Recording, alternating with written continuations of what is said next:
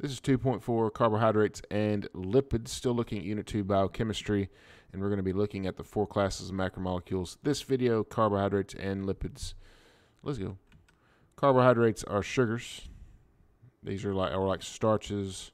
You know, we think of like bread and bananas and potatoes and pretzels and honey and dried fruit. I'm just naming all the stuff in this picture. It's funny. So, yeah, carbs, we're familiar with them. And so for each one of these macromolecule classes, uh, be able to tell me what they are, like generally, like sugars. That's a good kind of thing. Uh, two of them are not going to be really helpful, but these two, uh, the next two are. And then you're going to be able to tell me the monomers and the polymers of each one too. So the the monomer of carbohydrates are called monosaccharides. Mono one saccharide sugar. So it's literally one sugar. Glucose is an example of monosaccharide. The polymer is called a wait for it polysaccharide. And so sucrose, really simple polysaccharide. There's only two pieces, whereas like uh, starch or something like that, it's going to be really big and can have hundreds of different glucose molecules. And so it can be really big or really small, but more, two or more is a polymer. And so monosaccharide, polysaccharide are the monomer and polymer for these things. What's the primary function of carbohydrates? Their primary function is that they are the primary source of energy for all living things, meaning that when living things are searching for industry or in energy, carbs are going to be the way they turn typically. Uh, the body is able to process carbs quickly and efficiently, and, um, and living organisms will, will go out of their way to get carbs before fat or protein. Not to say those things don't have energy in them, they do, but a carb represents readily available source of energy. But carbs have other functions. We're going to look at some of those. So, um, one of those is just simple energy storage or carb storage. Again, carbs are quick energy, and organisms will store that quick energy in order to use it later. Plants store that energy in a form called starch, and a starch is a polysaccharide that's lots of glucose molecules. Animals store that in glycogen. We store glycogen in our livers. We store glycogen in our muscles when we need uh, a little more carbs. That we'll, we'll use those um, stores in order to get that quick energy. Cellulose is another type of carbohydrate, and it is a structural carb, meaning that it is used to build things. And so you can see the different structural, the way it's set up there. It's just, it literally stacks. So plants will use cellulose in order to make stems and leaves and other things. This plants uh, use to basically make their cell walls, and uh, it makes it hard to digest. And so, uh, like our bodies really can't even do it, um, whereas animals have other enzymes that allow them to do that. And then there's chitin over there on the right. Chitin uh, is one of the components of exoskeletons for arthropods and uh, fungus cell walls as well. And um, this is also a structural carb, and so its function is to build things rather than to serve as energy. Next, lipids.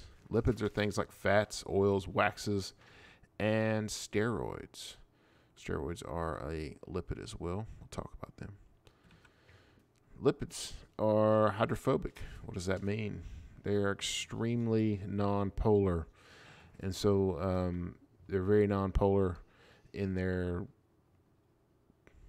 nonpolar in their chemical makeup, sorry, and uh, they do not like water. Water is polar. Obviously, we talked about that. And so um, this is things like, you know, this is why water and oil don't mix is because lipids are very nonpolar and or hydrophobic is another word that you can use for that. It's the word that's just on your screen. Or and hydrophilic is the word that is used for water loving. So we'll use those two words. But polar and nonpolar also work for that as well. Uh, the monomer for lipids are called fatty acids. And the fatty acid are those individual chains that you see there in the um, in the in the black letters. And then the glycerol is that uh, you can see over there on the left side, the blue letters. The glycerol is essentially kind of the way I like to think about it is like a, a closet rod, and the fatty acids are like clothes, and you hang the fatty acids on the glycerol closet rod. And so glycerol is a way that it binds all those fatty acids together. And a lot of times, um, fatty acids are found in groups of three. And so we would we will say that the polymer for lipids is called a triglyceride, which is three fatty acid chains and a glycerol molecule. What are the function of lipids? Well, the function of lipids is to store energy.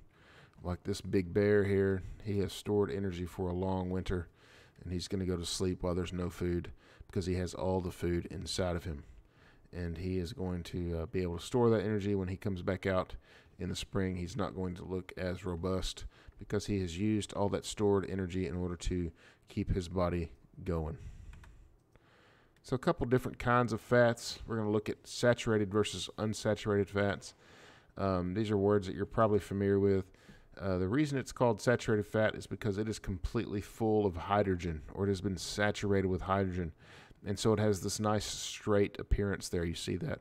Saturated fats are solid at room temperature. And so uh, you can kind of imagine stacking these things on top of each other. They, they fit nicely, which is how solids work as well.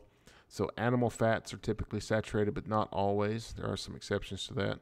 And then unsaturated fats, uh, you can see there, they're not completely saturated because of those carbon double bonds. It causes them to bend, and so they don't stack. And so they are liquids at room temperature. Typically, plant fats are unsaturated fats, but again, not always. There are exceptions to that. Now, what would happen if you decided to cram some hydrogen into that fat, into that unsaturated fat, to make it artificially saturated? Well, this is what we call hydrogenated fat. Cool Whip is an example of hydrogenated fat. Cool Whip is not dairy. Notice it says whipped topping. It's not dairy. It's hydrogenated oil. It's oil that has been artificially crammed full of hydrogen. Yummy hydrogen. And the last type of lipid we're going to look at are called phospholipids. Notice that word phospho there. It has to do with the phosphate that's on that top of that. Phosphates are negative, and so they have a charge, and so they are polar or they're hydrophilic. They love water. The two hydrophobic tails of the phospholipid do not. And so a phospholipid is interesting in that it has a hydrophilic portion and a hydrophobic portion. And so part of it likes water, part of it doesn't. These make great molecules for cell membranes because they form a barrier that doesn't allow everything in and also keeps things inside. And so our cell membranes are primarily composed of phospholipids. And I just realized that I don't have a picture for steroids. And so we're going to go all the way back here to the beginning. And you can see there in the upper right hand corner, that's two pictures of steroids there. And a steroid is a, is a specialized lipid. Notice it looks different than anything else we've looked at. They always have that same that kind of four ring structure. And so what a steroid is is it's basically a communicator, uh, and if it's a molecule that causes some sort of effect in your body, and they're distributed throughout the body using the bloodstream and the and the you know hormones system, and they are typically communicators. They they're released by other parts of the body in order to do some sort of thing. Uh, there's some like a, a, common steroid is also called cholesterol that is found inside cell membranes, and it gives cell membranes flexibility. And, uh, and especially in colder areas, some organisms will have cholesterol in their cell membranes in order to keep them from freezing. And so, steroids, even though they look different than the other lipids, they are definitely a lipid in all ways. They're nonpolar, except for this one does they don't store energy, rather they are communication molecules.